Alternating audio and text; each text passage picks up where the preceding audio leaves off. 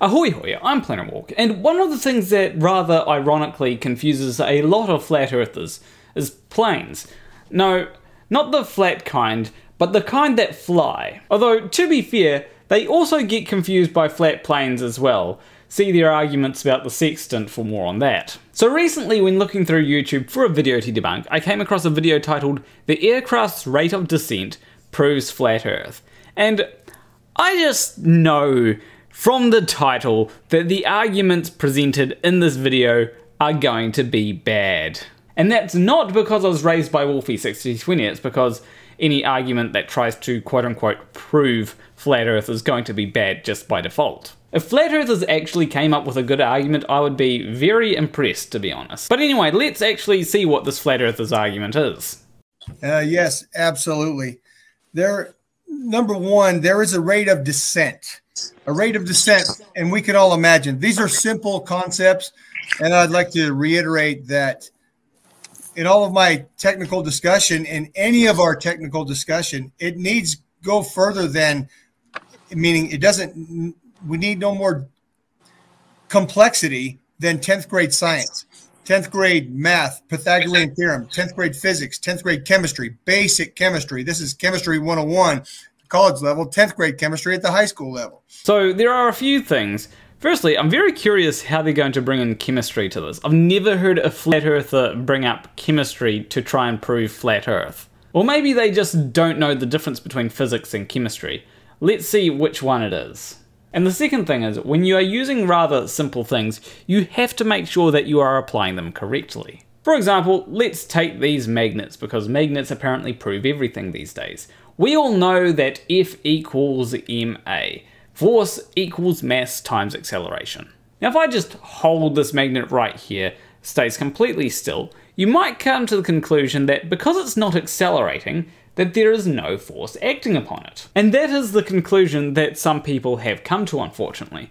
However, when I hold it like this, there are forces acting upon it. There is the force of gravity pushing down on it, and then there is the repulsive force of the atoms of my hand pushing the other way. So the net force on it is zero, but there are still forces that are acting upon it. Likewise, when you're using other things that may be quite simple, you gotta make sure that you're not missing out on something that could actually be rather important. One can imagine if an aircraft is flying at elevation 35,000 feet, well, it has to descend to land on the ground. Well, it's still flying in the air. It's not going to point its nose straight down and go straight to the ground. No, it's got to gradually descend from altitude down to zero. I mean, a plane could point its nose at the ground and go straight down. However, I just don't think that that's going to end well for anyone on that plane. Well, we call that rate of descent a lot of people don't talk about this. Now, I'm bringing up a new topic to Flat Earth, and I'm really bringing up a new topic to the average pilot. The average pilot does not talk about rate of descent. Well, it is a good thing that they're bringing up a new topic to Flat Earth because I'm tired of hearing the same old arguments time and time again. It does get rather boring after a while. As for this being a new topic to pilots, I don't think you realize this, but pilots do have to land their aircraft eventually. They don't just stay in the air for their entire life. Like, do you think that passengers just get catapulted onto airplanes and then when they have to get off, they just parachute off and the pilot just has to live their life forever in the skies? As entertaining as that would be, I don't think that that is the case. And how do I know? Because I've talked with several pilots and they cannot quote their rate of descent. Why do I know it? Because I memorized Army federal regula- regulated rate of descent, which was 500 feet per minute. For 18 years, I memorized 500 feet per minute. That's for for my first two years as an Army aviator. I memorized 500 feet per minute is the standard rate of descent. That may be the standard rate of descent, but for different aircraft and for different conditions, there are going to be different rates of descent. And because of that, the rate of descent may have to be changed from flight to flight. And if that is the case, then it would make sense why pilots wouldn't have to memorize the rate of descent. Memorization does not work well when you find yourself in situations that may dynamically change. But we, in the flat Earth community, we know that for an air for an airplane to fly around the globe, the supposed globe that is, there's a rate of descent associated with eight inches per mile squared. Oh dear, this is just the pilots would have to keep on pointing their nose downwards in order to not fly off into space argument all over again, isn't it? I thought this was supposed to be a new argument this time. So if we do the math, the eight inches per mile squared at the average, assuming an average airspeed of 500 miles per hour of, or that's that's really a ground speed, but but we're it's moving through the air at 500 miles an hour. Associate that with eight inches per mile squared. Well, the math gives us the following: 2,777 feet per minute rate of descent for that airplane to follow the globe. So the question here is, how on earth did you get that number? Because I plugged in 500 divided by 60, square that, times it by 8, then divide it by 12. And that results in 46 feet per minute. Now here's the thing, I know how he got the answer that he did. What he did is instead of doing 500 divided by 60 then squaring that, he did 500 square that then divide it by 60. Now I know what people are going to be pointing out in the comments. They're going to be saying he used the wrong formula for earth curve. But in this case, it doesn't really matter. He used it so egregiously bad that it doesn't matter whether he used the correct formula or not.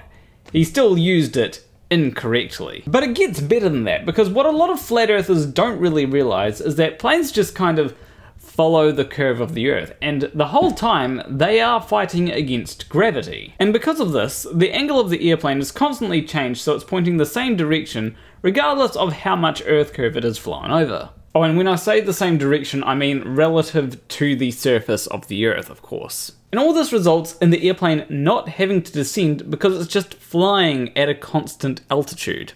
Now I know that flat earthers are going to have a lot of difficulty trying to understand this, so I'm going to try and use an analogy, and please try to bear with me. Imagine that you are traveling in a car and you have to turn left around a bend. When the car is traveling around the bend, how far do you think the car has to move left relative to the direction that it's pointing? And the answer here, of course, is barely anything, if at all, because it is always turning to point in the direction that it wants to go. And the same kind of concept applies to airplanes, except with airplanes, it's on the vertical axis. So I did some more math today, by the way, Vika. Thank you for asking. Oh dear, how badly is he going to screw the maths up now? So I looked up gravity 32 feet per second squared. Okay, that's that's the quote supposed gravity, right? If you drop something, it in a vacuum, okay, it falls at 32 feet per second squared. Well, let's convert that to feet per minute. That is 1,920 feet per minute. Okay, that's gravity. All right, so I figured out how he got that number. All he did is he took 32, times it by 60, and that's how he came up with that number. He's using maths very incorrectly here. The way that he used it was 32 feet per second, completely ignoring the squared part. There seems to be quite a bit of linear thinking that's going on here. They don't seem to be able to understand the concept of curves. Now, let's remember an airplane flying around the curve of the globe at 500 miles an hour must maintain a rate of descent of 2,777 feet per minute, which is almost a thousand more feet per minute than something falling in free fall.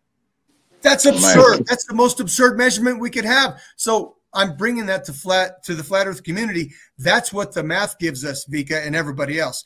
Well, no, because you're doing every bit of the maths completely wrong you haven't accounted for the fact that gravity is an acceleration, not a speed. But that's not even relevant because the way that a plane flies around the curve of the Earth does not mean that it's constantly descending. If this really were to be the next big flat Earth thing, then I don't see how anybody could seriously consider the Earth being flat because these arguments are absolutely terrible. Yes, but what people seem to forget is the, the globe model, the heliocentric model, that science and math is never used in a function in a functioning application. Exactly. Never. Well, I mean, it's used for meteorology, GPS, well, anything to do with navigation, really. Like whether you're navigating in a plane or navigating in a boat, if you need to use a sextant. Um, what about seismology? That also uses a globe model. It seems like everything that does anything to do with the Earth uses a globe model. Anybody can do this math. Pilots don't know anything out anything that's not normal. They have more experience with it, but doesn't just because they're a pilot doesn't mean they they know something special. Anybody could do this math, and anybody that does this math and can explain it, well, they're smarter. They're smarter in this effect than the average pilot. Amen. Take it and run. So what you're saying is, despite never having done any kind of pilot's training, you think you know more than all the pilots out there. You know, if only there was, you know, something to describe people like that. The first comment by F.E. Patriots at a speed of 500 mile per hour, the plane would fly at just over eight miles per minute. Therefore, the rate of descent in right. the first minute from the starting position is just under 50 feet and then increases exponentially. Yeah.